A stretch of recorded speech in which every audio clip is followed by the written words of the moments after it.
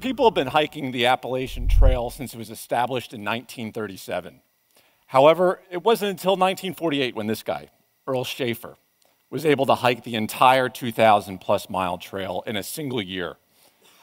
People at the time didn't think that was humanly possible. Earl was a 29 year old World War II veteran who had just completed a tour in the South Pacific where he was a radar equipment technician. And when he was asked why he was hiking the trail, he says, I'm doing it to walk the war out of my system. Now, for much of my professional career, I was, as Andrew said, I was with the Department of State and the Department of Defense and deployed, like many of you here, to Iraq and Afghanistan. I spent four years in Iraq uh, through a few tours and then went on and did six years in Afghanistan, off and on. It was an experience, and my, my primary job there was advising various US commanders as they came and went. It was a job that allowed me to engage with presidents and prime ministers, numerous warlords and insurgents, and go on countless missions and patrols with grunts, Iraqi police, Afghan commandos.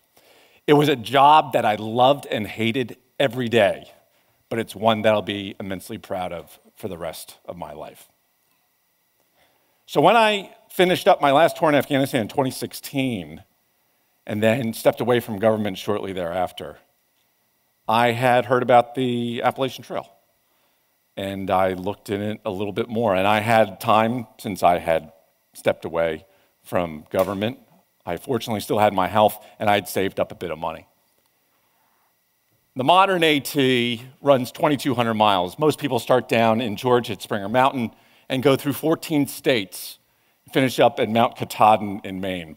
And when I started, I didn't know whether it'd be 100 miles or 1,000 miles. I had no idea. But what I did was I just focused on doing three to five day hikes, getting to a town, resupplying, resting up, taking a shower, eating some real food, and doing it over and over and over again until I worked my way up north in five months, I was able to summit Mount Katahdin on Labor Day weekend, 2016. It was a good day.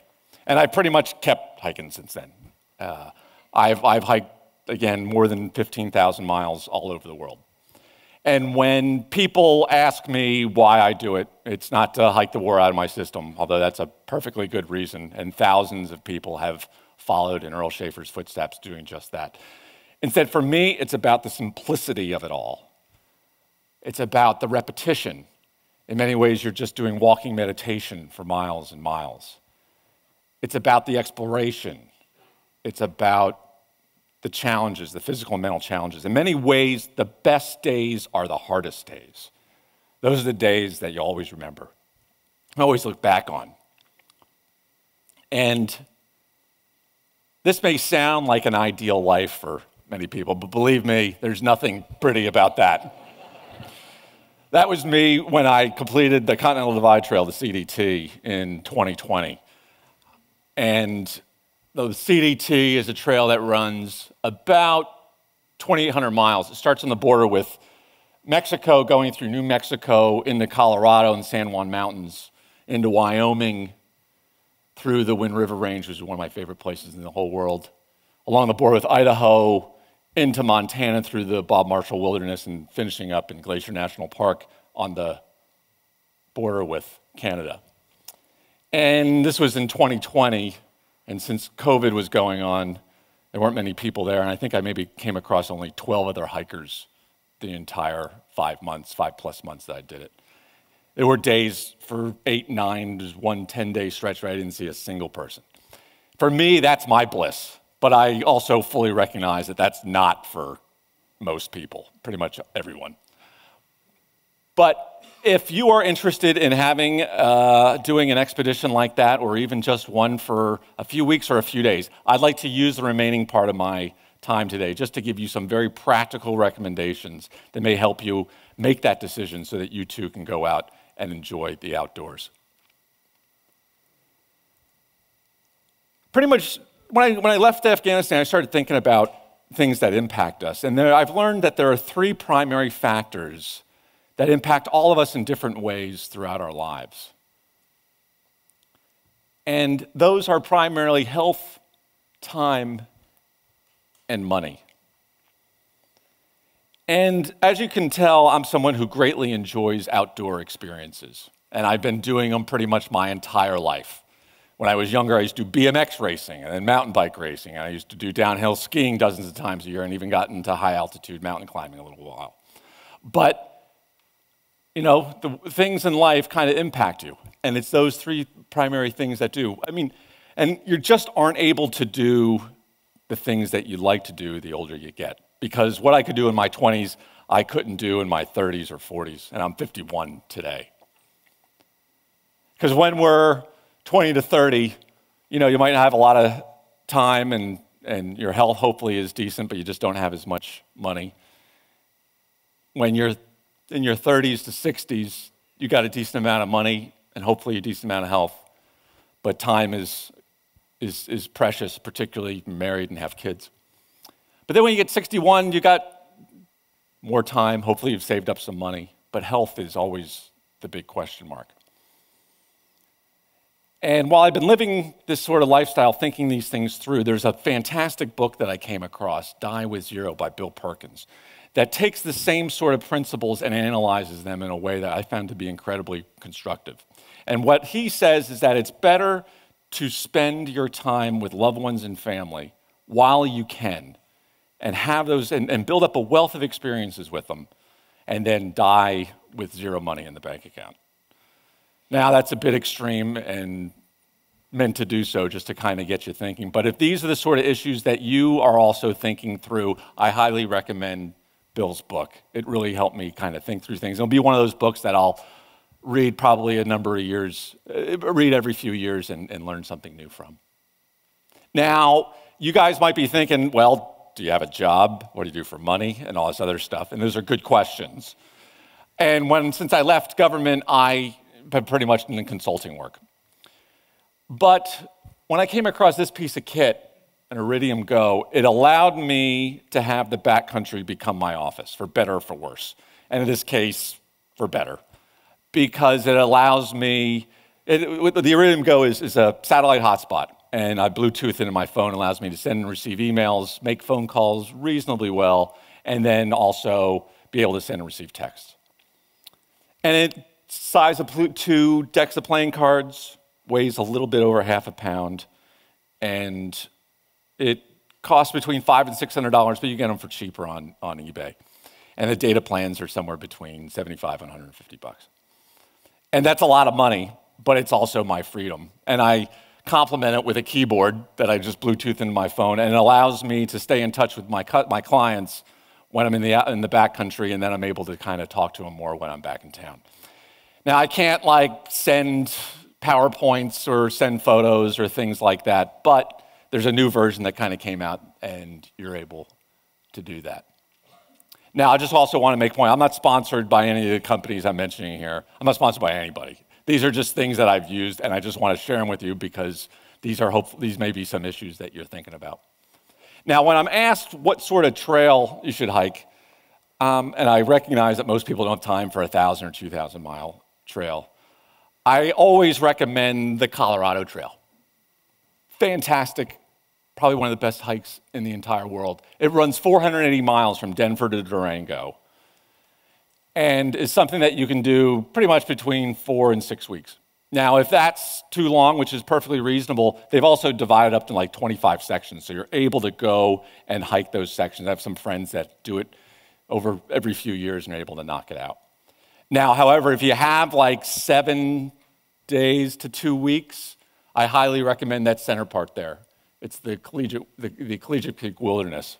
It's about 160 miles that goes through the heart of the Colorado Rockies. And it's the most dense concentration of 14ers in the continental, in the continental 48. 14ers are 14,000 meter peaks. The trail goes no lower than 8,000 feet and goes generally, I think, about 12,000, but there's also a lot of ways to kind of go off so you can do the 14ers if you wish to. Now, some of you might think, okay, that's all well and good, but the best trail usually is the one that's right in your own backyard or wherever you happen to be. And I found some apps that you might already know. With this crowd, I'm sure you guys know about AllTrails, which is fantastic. It's got thousands of trails in its database all over the world. And no matter where you are, you can find a good trail that's nearby. And what makes it great is that you can search for them based upon distance, uh, difficulty level, loops, straight, whatever you want. It's all right there. And you can download them for offline use. So when you're back on the trail, you don't have cell service, you can still use them. I made that mistake once by not, not doing that, and I, I won't do that again. And what's also great is that you're also able to get to the trailheads to it, which is, which is fantastic. What I do now, a lot of times, is I do thank you treks, where I go and I meet with friends that I hadn't seen in a while, or former colleagues, or mentors of mine who are getting older, and, and go and meet with them and to thank them for the impact that they had on my life. And then if they're physically able to then go and do a hike with them, I always am able to find something that's near them with this, with this app. The second one is FarOut, and this is for people who want to do one of the long trails, the CT, the CDT, PCT, whatever, but also all over the world. And it's, it's a fantastic asset that not only is able to help with, with hiking, but also to be able to help with, with bike packing, if that's what you're, if that's what you're into. And it's something that's got these waypoints where you're able to get water conditions, trail conditions, towns, phone numbers, people to call, and all this other stuff. And it's an incredibly helpful asset, not only when you're hiking, but also planning. Now, you can easily overplan if you're going to be doing one of these hikes, but I strongly recommend not to because you want to be adaptable and things will always go wrong. And that's part of the fun if you're into that sort of thing. Now, no talk about hiking wouldn't be complete without a little bit of gear. And my favorite piece of gear, hands down, literally and figuratively, are pacer poles. Now you might be thinking, all right, great, yeah, hiking poles, fantastic. Um, no, these poles are fundamentally different because of the handles. And it's amazing just being able to have an ergonomic shift that you can put your weight into, that it fundamentally alters how you hike.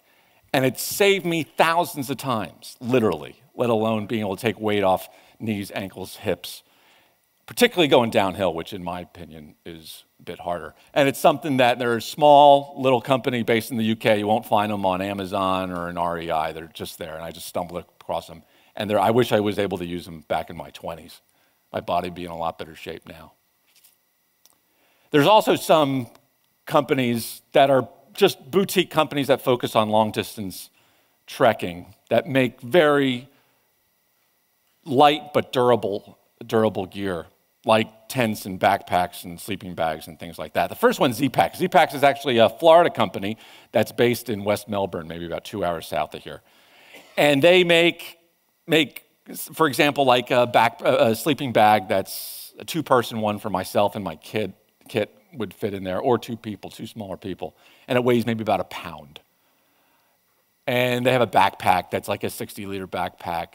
That's light Probably be great for rucking too. That's maybe a little bit over a pound, maybe a pound, pound and a quarter. And I keep mentioning these weights because you're mindful of weights when you do these long hikes.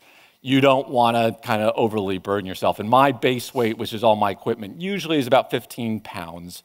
And it varies based upon the trail you're doing and the time of year.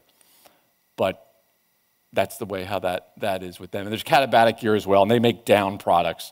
Down products like like, like puffy jackets and also sleeping bags. And so one of their quilts is like a 30 degree bag, and it's something that I use um, three seasons, and it weighs just like a little bit over a pound. And this is just all durable things that I've used for thousands of miles that I thought I'd just relay to you.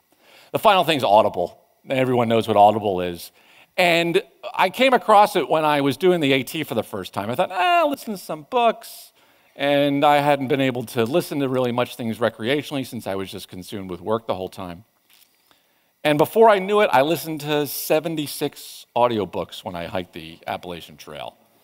And I loved it. I mean, not only was the hike uh, a physical exploration, it was also a mental one where I'm able to kind of go and, and, and learn different things. And I've listened to hundreds of books more. Now, you're not able to retain as much, maybe 75% for me. You get better in, in time as you do it. And you you, you, you learn to adapt and you take it. Now, I'm just going to talk very quickly about two books that I retained 100% of that I hopefully inspire you. The first one is Grandma Gatewood's Walk. Now you're like, all right, Grandma, that's fantastic. Grandma Gatewood is a badass. She was a 68 year old woman in Ohio. And after the last of her 11 kids left the house, and she divorced her abusive husband, this is in 1955, she told a handful of kids, not all of them, and a few friends, that she was going for a walk. She didn't say where, she didn't say how long. And she literally put a bag over her shoulder, not a backpack, just a bag over her shoulder. And 146 days later, she completed the AT. This is in 1955. She was the first woman to hike the whole AT, and she'd do it two more times in her life. She is an incredibly strong woman in more ways than one, and the story is phenomenal. The last book that I absolutely love is Touching the Void by Joe Simpson. Now, this is a mountain climbing book, it's not a hiking one. And it's written by Joe Simpson. What it talks about, and what Joe writes, is about an expedition that he and his climbing partner, Simon Yates, did in 1985, where they attempted to climb the west face of the Siula Grande in the Peruvian Andes. And no one had climbed the mountain that way before. And I'm not giving anything away by saying, yep, they were able to climb it and they were able to summit. But getting to a summit only means that you've gotten halfway. You still got to get down.